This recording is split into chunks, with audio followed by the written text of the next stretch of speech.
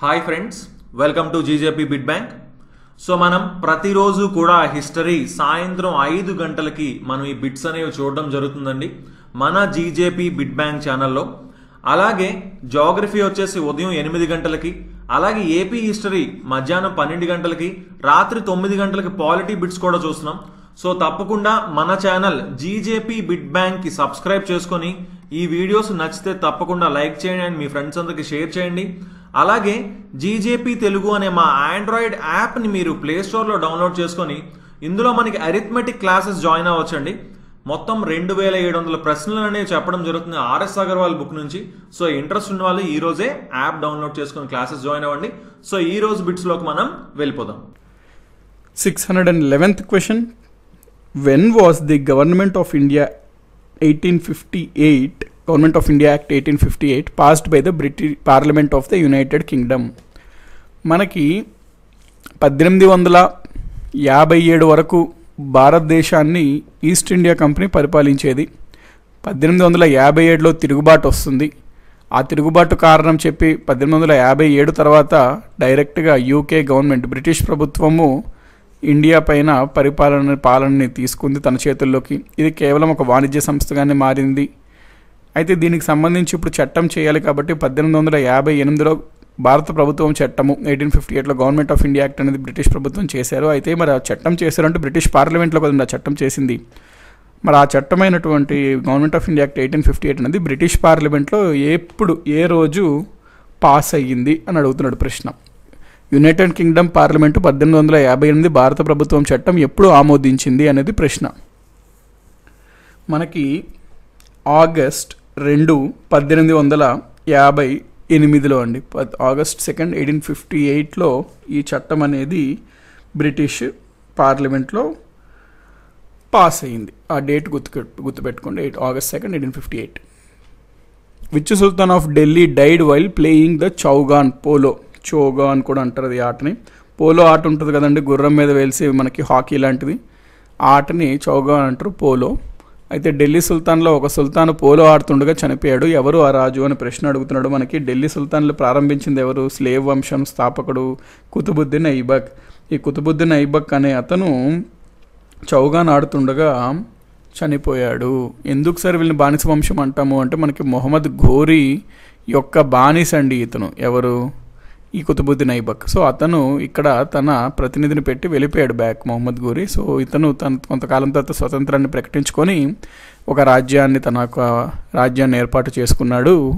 అందుకనే వీళ్ళని స్లేవ్ వంశం అంటాం అనమాట slave dynasty. So Qutbuddin Aibak అనే అతను పోలో ఆడుతుండగా చనిపోయాడు. సో చౌగాన్ పోలో ఆడుతుండగా చనిపోయిన ఢిల్లీ సుల్తాన్ ఎవరు అంటే Qutubuddin Aibak six hundred and thirteenth question during the reign of which ruler Moroccan traveller Ibn Battuta visited India Morocco యాత్రికుడు Ibn Battuta ఏ పాలకుడు పాలనలో భారతదేశాన్ని సందర్శించాడు? ఇబన్ బటుటా మొరక్కో దేశానికి చెందినవాడు ఆ పాయింట్ కూడా గుర్తుపెట్టుకోండి. అడగచ్చు మేబీ మ్యాచ్తో ఫాలోయింగ్స్లో యాత్రికులు ఏ దేశం నుంచి వచ్చారు అని అనగచ్చు. హ్యూన్ సాంగ్ అంటాడు చైనా అని చెప్పాలి. ఆ విధంగా మనకి ఇబన్ బటుటా అంటే మొరక్కో అని చెప్పాలి. ఇబన్ బటుటా ఇతను థర్టీన్ థర్టీ త్రీ నుంచి థర్టీన్ ఫార్టీ సెవెన్ ఈ టైం పీరియడ్ ఇండియాలో ఉన్నాడండి. ఇండియాలో ఇబన్ బతుతా. ఇతను మొహమ్మద్ బిన్ తుగ్లక్ ఉంటాడు కదండి. తుగ్లక్ రాజవంశం రాజు మొహమ్మద్ బిన్ తుగ్లక్. ఇతను టైంలో భారతదేశానికి సందర్శించడం జరుగుతుంది. Ibn Batuta. అయితే ఇబన్ బటుటా ఒక బుక్ రాస్తాడు. ఆ బుక్ ఫేమస్ రెహలా అనమాట ఇబన్ బటుటా రాసిన బుక్ రెహలా. ఈ రెహలా అనే గ్రంథంలో అప్పట్లో సామాజిక పరిస్థితులు రాజకీయ పరిస్థితులు ఆర్థిక పరిస్థితులు వాటి గురించి చాలా వరకు మనకి సమాచారం లభిస్తుంది బుక్ ద్వారా. అదేవిధంగా మొహమ్మద్ బిన్ తుగ్లక్ యొక్క పాలన ఏ విధంగా ఉండేది అనేది కూడా ఈ బుక్ ద్వారా మనకి చాలా ఇన్ఫర్మేషన్ అయితే లభిస్తుంది. ఓకే అండి ప్రశ్న. Next six hundred and fourteenth question. Which of the following saint wrote Sribhashya ఎవరు శ్రీభాష్యాన్ని రచించారు? శ్రీభాష్య శ్రీభాస్య రాసినది ఎవరు అనేది ప్రశ్న. మనకి రామానుజాచార్య అన్నతను రామానుజ అన్నతను ఆచార్య అండి బేసికలీ ఆచార్య అతను. సో మనం ఆచార్యస్ అని ఎవరిని అంటాము? వైష్ణవ సెయింట్స్ని అంటాం ఆచార్యస్ అని. వైష్ణవ ఫిలాసఫర్స్ లేకపోతే వైష్ణవ సెయింట్స్ని. వైష్ణవ ఫిలాసఫర్స్ని వైష్ణవ తత్వవేత్తలు మనం ఆచార్యులు అంటాము. అందుకని ఇతన్ని రామానుజాచార్య అని కూడా చెప్తుంటాము. ఇతను శ్రీభాస్య అనే గ్రంథంను రచించాడు. వైష్ణవ మతానికి సంబంధించి ఇతను చాలా ప్రముఖమైన ఆచార్యుడు అనమాట ప్రముఖమైన తత్వవేత్త ఆచార్యుడు. సో ఇతను శ్రీభాష్య అనే గ్రంథం రచించాడు. Next question who established Chishti order in India మన భారతదేశంలో చిష్టి తెగ లేకపోతే చిష్టి శాఖను ఎవరు ప్రారంభించారు? ముస్లింలు ఇది ఒక శాఖ అండి. చిష్టి శాఖ ప్రారంభించింది ఎవరు అంటున్నాడు మనకి మొయినుద్దీన్ క్వాజా మొయినుద్దీన్ చిష్టి అంటారు. సో చిష్టి ఆర్డర్ కాబట్టి చిష్టి అట్లా గుర్తుపెట్టుకోండి. మొయినుద్దీన్ చిష్టి అనే అతను చిష్టి శాఖను ప్రారంభించాడు భారతదేశంలో. మొయినుద్దీన్ చిష్టి అనే అతను స్టార్టింగ్లో అతను పంజాబ్లోని లాహోరు రాజస్థాన్లోని అజ్మీర్ ఆ ప్రాంతాలు ఇంట్రడ్యూస్ చేశాడు అరౌండ్ ట్వెల్త్ సెంచరీ పన్నెండు శతాబ్దం ఆ టైంలో. తర్వాత కాలం వస్తూ కొద్ది చాలా ప్రదేశాలకి వ్యాప్తి చెందిందనమాట ఈ చిష్టి శాఖ అనేది. సో ఎవరు స్థాపించారు అంటే Moinuddin Chishti. Six hundred and sixteenth question the Buland Darwaza was built to mark Akbar's conquest of Buland Darwaza అనేది ఒక ప్రముఖమైన బిల్డింగ్ ఉంటుందండి. అది గు- అక్బర్ అనే అతను మనకి గుజరాత్ ప్రాంతం పైన దండెత్తి గుజరాత్ ప్రాంతం పైన విజయం సాధించి ఆ ప్రాంతంని తన వశంలోకి అంటే తన రాజ్యంలో కలుపుకుంటాడు. ఆ విజయానికి గుర్తుకుగాను అష్ అక్బర్ బులంద్ దర్వాజా నిర్మిస్తాడు. బులంద్ దర్వాజా అంటే అసలు అర్థం ఏంటి అంటే గేట్ ఆఫ్ విక్టరీ అనమాట gate of victory. Buland Darwaza అంటే గేట్ ఆఫ్ విక్టరీ. ఇది Akbar sixteen nought one AD ఈ సంవత్సరంలో నిర్మించాడు. ఎందుకు అంటే తను గుజరాత్ పైన సాధించిన విజయానికి చిహ్నంగా. ఓకే కండి. మనకి ఒకవేళ మీరు ఆగ్రాకి వెళ్ళినట్లయితే ఎప్పుడైనా ఢిల్లీకి వెళ్ళిన ఆగ్రాకి వెళ్ళినా ఆగ్రాకి ఒక నలభై మూడు కిలోమీటర్లు దాదాపు దూరంలో ఫతేపూర్ సిక్రీ అనే పట్టణం ఉంటుంది. ఫతేపూర్ సిక్రీలో ఫతేపూర్ ప్యాలెస్ అని ఉంటుందన్నమాట. ఆ ప్యాలెస్కి ఎంట్రన్స్ గేట్గా ఈ బులంద్ దర్వాజా ఉంటుంది. ఆ ప్యాలెస్ యొక్క ఎంట్రన్స్గా మెయిన్ ఎంట్రన్స్గా ఉంటుంది ఒక బిల్డింగ్ అదే బులంద్ దర్వాజా.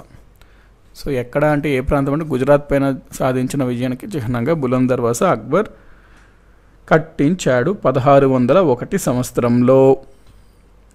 Six hundred and seventeenth question who among the following was named as Zinda Pir or living saint in Mughal period Zinda అంటే లివింగ్ నివసిస్తున్నటువంటి. పీర్ అంటే సెయింట్ ముస్లిమ్స్లో జనరల్గా పీర్స్ అంటాం. పీర్ సాహెబ్ పీర్స్ అంటాం కదా. అట్లా సెయింట్ అనమాట ఋషి ముని అట్లా. మొఘల్ కాలంలో జిందా పీర్ లేదా లివింగ్ సెయింట్ అని కింద వారిలో ఎవరిని అంటారు? అని ఇక్కడ ప్రశ్న అడుగుతున్నాడు. మనము ఔరంగజేబ్ని పిలుస్తామండి. లివింగ్ సెయింట్ అని. ఔరంగజేబ్ని లివింగ్ సెయింట్ లేకపోతే జిందా పీర్ అంటాం. అంటే ఇప్పుడు మనకి మొఘల్ రాజుల్లో ఔరంగజేబ్ ఉంటాడు కదండి. రా ఆఖరి గొప్ప రాజుల్లో ఆఖరి రాజు గొప్ప మొఘల్ రాజుల్లో ఆఖరి రాజు అయినటువంటి ఔరంగజేబ్ను మనము జిందా పీర్ అని పిలుస్తాము. Six hundred and eighteenth question. Which are the following Mughal buildings is set to possess the unique feature of being exactly equal in length and breadth ఈ క్రింద మొఘల్ భవనాల్లో ఏదు పొడవు మరియు శ్వాసలో సమానంగా ఉండటం యొక్క ప్రత్యేక లక్షణాన్ని కలిగి ఉంది. అంటే మొఘల్స్ కట్టించిన ఒక బిల్డింగ్ అంటే ఎగ్జాక్ట్లీ లెంగ్త్ బ్రెత్ ఒకటే సైజులో ఉంటుంది అంటే పర్ఫెక్ట్ స్క్వేర్ షేప్లో ఉంటుందన్నమాట ఒక బిల్డింగ్. అదే బిల్డింగ్ అని అడుగుతున్నాడు మనకి. తాజ్మహల్ ఏదైతే ఉందో అది పెర్ఫెక్ట్ స్క్వేర్ షేప్లో ఉంటుంది అంటే లెంగ్త్ బ్రెత్ ఈక్వల్గా ఉంటుంది. షాజహాన్ నిర్మిస్తాడు అనమాట కట్టిస్తాడు. ఏంటి? తాజ్మహల్ని ఎవరి కోసం అంటే తన భార్య అయిన నూర్జహాన్ కోసం. ఈ తాజ్మహల్ని డిజైన్ చేసింది ఎవరండి? మేబీ మీకు ఛాన్స్ ఉంటుంది అడగడానికి. తాజ్మహల్ డిసైన్ బై ఎవరు అంటే అహ్మద్ లహౌరీ. అహ్మద్ లహౌరీ డిజైన్ చేశాడనమాట చార్మినార్ని. ఓకే కండి point. Next. Buland Darwaza is main entrance to the palace set ఇందాక నేను మీకు చెప్పాను కదండి the same point which I told you just before ఇందాక బులంద్ దర్వాజా గురించి చదివినప్పుడు అదే బిట్టు ఇప్పుడు అడిగాడు చూడండి. ఏ ప్యాలెస్లో ప్యాలెస్కు ప్రధాన ద్వారం బులంద్ దర్వాజా ఉంటుంది? మరి ఇందాక మీకు ఏం చెప్పాను? ఎప్పుడైనా మీరు ఆగ్రాన ఢిల్లీకి వెళ్ళినా అక్కడ దగ్గరలో నలభై కిలోమీటర్ల దూరంలో ఫతేపూర్ సిక్రీ అని ఉంటుంది. ఫతేపూర్ సిక్రీలో ఫతేపూర్ ప్యాలెస్ ఉంటుంది. ఫతేపూర్ ప్యాలెస్కి ఎంట్రన్స్గా బులంద్ దర్వాజా అనేది ఉంటుంది అని ఇందాకే చెప్పాను కదండి. అందుకనే ఇక్కడ ఏంటి మన ఆన్సర్ ఫతేపూర్ సిక్రీ అనేది ఆన్సర్ అవుతుంది. ఇందాక మనం అనుకున్న point six hundred and twenty eighth question Bibi ka Maqbara is located in India at Bibi ka Maqbara మనకి ఔరంగజెబ్ ఉంటాడు కదండి మొఘల్ రాజుల్లో చివరి రాజు అయినటువంటి. అతని కొడుకు ఉంటాడనమాట ఆజం షా అనే ఒక అతను. ఆజం షా అనే అతను వాళ్ళ మదర్ యొక్క గుర్తు మీద ఈ బీబీకా మక్బరా అనేది నిర్మాణం పూర్తి చేస్తాడు. అంటే ఔరంగజేబ్ కట్టించినట్టు ఉంటాయి బుక్స్లో.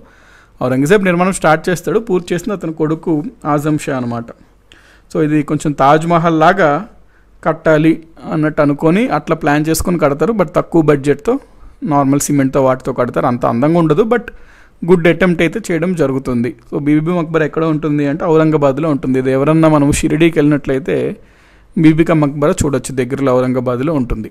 బీబికా మక్బరా. ఔరంగాబాద్లో ఉంటుంది Maharashtra. So okay guys thanks for watching.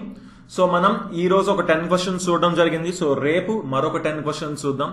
So తప్పకుండా ఈ వీడియోస్ నచ్చితే లైక్ చేయండి అండ్ మీ ఫ్రెండ్స్ అందరికీ తప్పకుండా షేర్ చేయండి. So thanks for watching and have a nice day. Bye